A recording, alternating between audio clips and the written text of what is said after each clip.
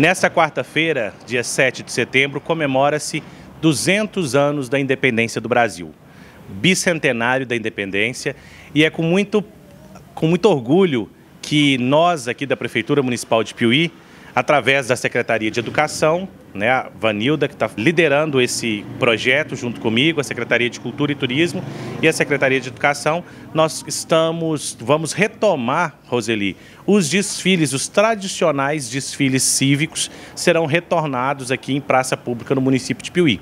Então, nessa quarta-feira, 7 de setembro, é, vamos aí, em alto estilo, fazer a comemoração do bicentenário da independência com aproximadamente mil crianças, é, a fanfarra municipal, Lira São José, que vai estar aqui fazendo a execução do hino, hasteamento de bandeira, Polícia Militar, estava aqui agora finalizando com o capitão Marinho, Polícia Militar vai fazer a vai participar também aqui da apresentação do 7 de setembro, bombeiros, convidamos o Poder Judiciário.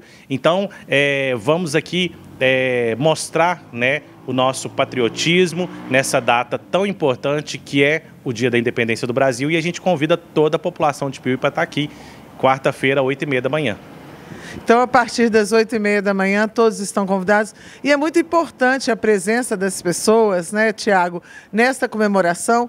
Isso mesmo, fica o convite aí. Vamos estar uma estrutura bacana aqui. A gente vai colocar banheiro químico, a gente vai colocar água aqui fornecida pelo SAI.